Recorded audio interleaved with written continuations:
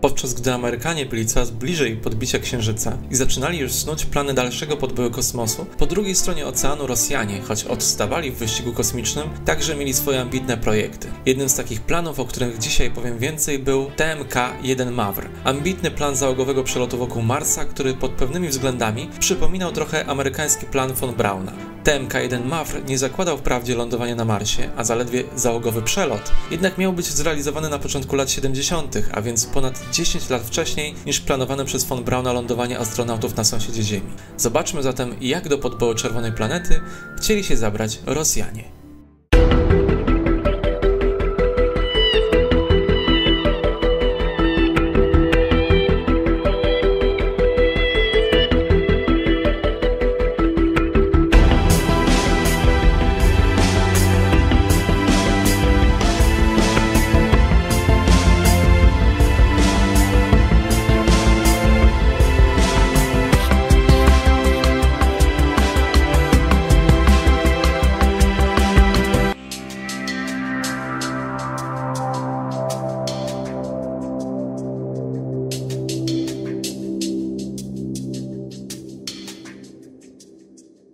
Mało kto wie, że sowiecka rakieta N-1, którą Rosjanie chcieli polecieć na Srebrny Glob, wcale nie miała służyć do podróży na Księżyc. Sergij Korolow, projektując N-1, miał na myśli zastosowanie jej jako nośnika dla pojazdu MPK, marsjańskiego pilotriumnego kompleksa, czyli marsjańskiego kompleksu załogowego. Plan był o tyle ambitny, co całkowicie nierealny. MPK miał mieć powyżej 1630 ton i potrzebować do wyniesienia na orbitę niemal 25 startów rakiety N-1. Nic więc dziwnego, że nigdy nie wyszedł spoza desek kreślarskich. W tym miejscu dochodzimy do rzeczy bardzo charakterystycznej dla rosyjskiego przemysłu kosmicznego konkurencji.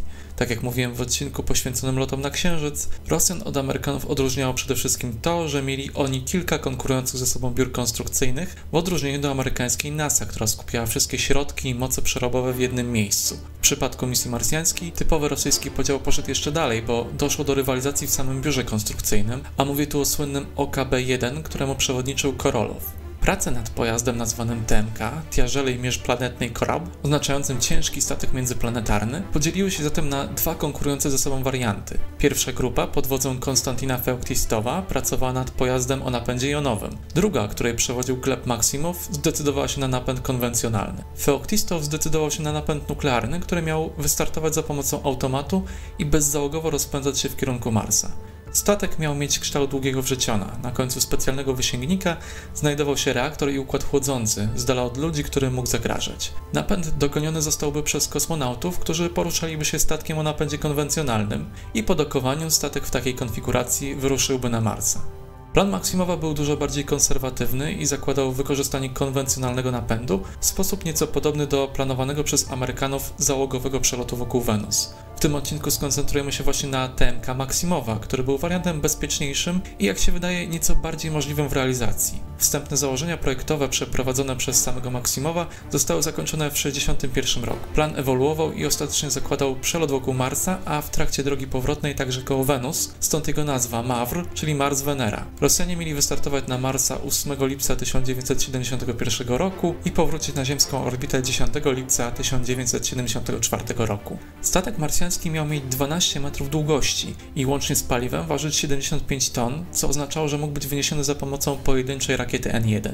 Trzyosobowa załoga miała mieć do dyspozycji 50 metrów kwadratowych, podzielonych pomiędzy habitat i pracownię. Na statku zamontowany był teleskop, mający służyć do obserwacji astronomicznych. Zasilanie pochodziło z baterii słonecznych. W trakcie lotu TMK miał być wprowadzony w delikatny ruch wokół własnej osi, co miało dać namiastki grawitacji. Jedzenie i tlen planowano dostarczać za pomocą farm hydroponicznych, w których kosmonauci mieli uprawiać zielenicę. Było to pionierskie rozwiązanie. Amerykanie w tamtych czasach we wszystkich swoich projektach woleli polegać na tlenie uzyskiwanym za pomocą reakcji chemicznej. Rosjanie obliczyli jednak, że za pomocą kilograma zielenic można dziennie uzyskać 27 kg tlenu. Pożywienie, którego również miały dostarczać algi, miało być na szczęście dla kosmonautów uzupełniane przez zapasy specjalnie zakonserwowanej żywności. Prace nad systemem utrzymywania życia opierającym się na zielenicach były tak zaawansowane, że w 1967 roku trzech ochotników zamknięto na cały rok w symulatorze, który wiernie oddawał warunki pracy hydroponiki. W trakcie przelotu nad Marsem planowano zrzucić bezzałogowe lądowniki, po czym statek wraz z kosmonautami miał wyruszyć w długą drogę powrotną z krótkim przystankiem w postaci przelotu koło Wenus. Po wejściu na ziemską orbitę kosmonauci mieli przesiąść się do kapsuły znajdującej się na rufie statku i za jej pomocą wrócić na Ziemię. Co zatem zawiodło?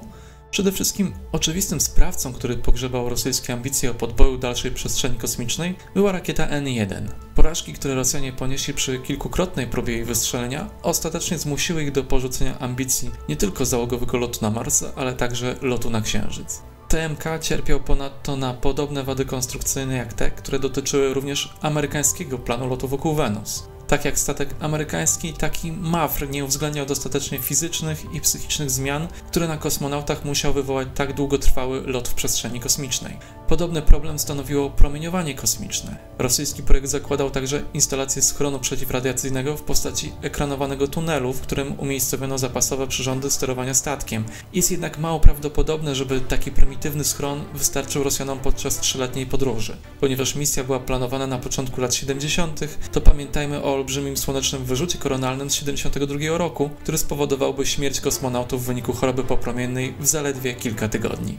Gdyby jednak nawet założyć, że Sowieci dysponowaliby N1 lub inną rakietą o podobnej mocy, to do głosu dochodziła nadmierna konkurencja biur konstrukcyjnych, o której wielokrotnie wspominałem. W latach 60. Korolow tracił już monopol na bycie nieomylnym, a ponadto nie miał już dobrych relacji z Chruszczowem. Na scenie pojawili się zarówno Walentin Głuszko ze swoimi projektami rakiet, jak i Władimir Czełomiej z własnymi planami statków załogowych, zarówno księżycowych, jak i międzyplanetarnych. Ten ostatni przyczynił się chyba najbardziej do pogrzebania załogowych programów podróży na Marsa, ponieważ silnie promował skoncentrowanie wysiłku na wystrzeleniu stacji kosmicznych i ostatecznie dopiął swego, oczarowując wojskowych projektem wojskowej stacji kosmicznej AUMAS, które wraz z cywilnymi salutami wyewoluowały w stację Mir. Nie był to jednak jedyny projekt podboju czerwonej planety przez Sowietów, istniały bowiem plany dużo bardziej ambitne, zakładające nawet lądowanie na Marsie, ale o nich opowiem w następnym odcinku. Dzięki za oglądanie, do zobaczenia już wkrótce.